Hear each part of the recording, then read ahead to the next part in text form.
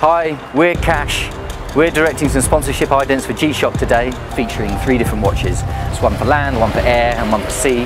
The main thing we're trying to do here is challenge these watches. Rather than doing all of this in CGI, we're actually going to do, do all these effects for real. What we're doing is we're shooting on the Phantom Flex, and mostly we're shooting at 2,500 frames per second, putting the viewer in a space that you can only imagine that, you know, until these cameras existed, you couldn't see.